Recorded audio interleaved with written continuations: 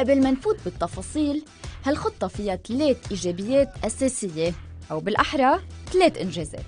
أولاً لأول مرة بتاريخ لبنان بيصدر مستند رسمي بيوصف المشكلة الكبيرة يلي واقعين فيها وبيقدر الخسائر بمصرف لبنان بنحو 50 مليار دولار. بلا لف ودوران. تاني إنجاز هو إنها واجهت الواقع. لا خيار لمعالجة مستويات الدين القياسية إلا من خلال إعادة الهيكلة وحسم جزء منه.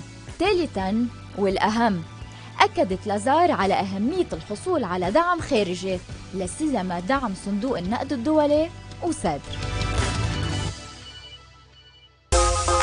سجل على www.lbcgroup.tv عمول subscribe على ال website واحضر كل البرامج والحلقات والتغطيات المباشرة ساعة اللي بدك. نزل الابليكيشن ال بي سي اي وخليها على طول معك.